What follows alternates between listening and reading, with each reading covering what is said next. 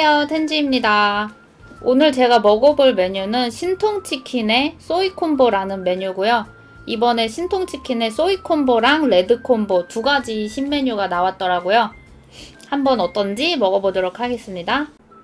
지금 굉장히 공복 몇 시간째인지 모르겠어. 거진 12시간 이상 공복 상태거든요. 공복에 먹는 치킨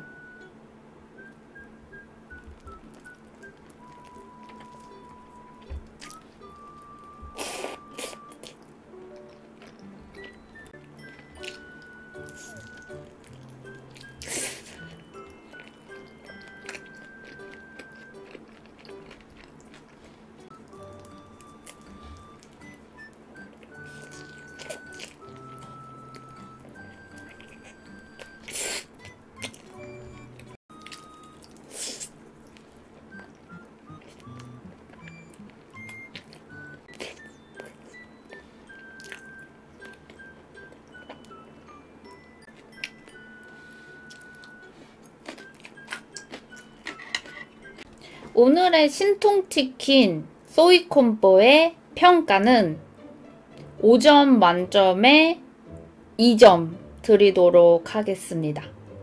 아니, 한 1.5점으로 드려야 되나? 처음에 치킨 받았을 때 치킨 냄새가 별로 그렇게 맛있어 보이는 아주 맛나겠다, 와, 맛있겠다, 막 그런 기대감이 드는 냄새가 안 났고요. 보기에는 굉장히 맛있어 보입니다. 소이치킨. 맛있어 보이죠?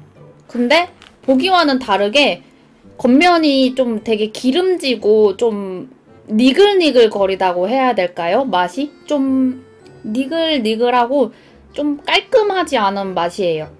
그리고 단짠 단짠 이렇게 맛있다고 기사가 나서 한번 시켜봤는데 음, 맛은 없는 것 같아요. 맛은 없고 14,000원에 구매를 했는데요.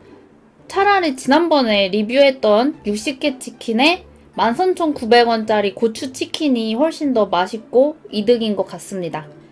양도 그게 더 많은 것 같고요.